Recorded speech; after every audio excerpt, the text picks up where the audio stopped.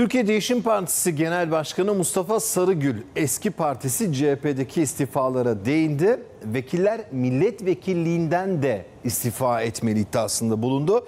Sarıgül'ün salgına rağmen restoran ve kafeler açılmalı mesajı da vardı.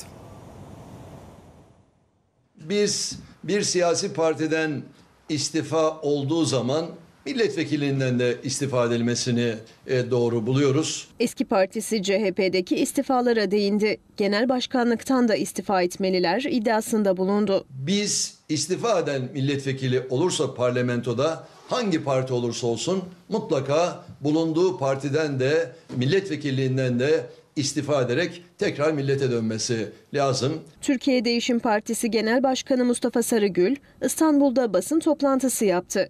Koronavirüse karşı mücadelede partisinin önerilerini sıraladı.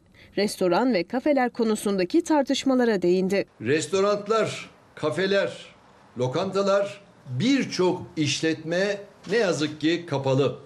Bu sektörde 10 milyon insanımız çalışmakta. Bütün restoranlar, kahveler, kafeler, kahveler, lokantaların da sosyal mesafeye uyularak derhal açılmasını arzu ediyoruz.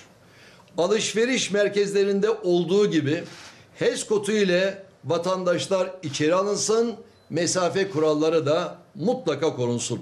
Sarıgül sokağa çıkma kısıtlamasındaki yaş sınırlamalarına da tepkiliydi. 65 yaş üstü 20 yaş altı sokağa çıkma yasağının dünyada bir başka ülkede örneği var mı yok mu buna bir kez daha bakmak lazım.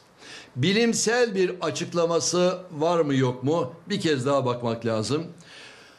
Bu yasak özellikle 65 yaş üstü ve 20 yaş altı toplumda psikolojik sorunlara, travmalara neden olacağı da ortadadır.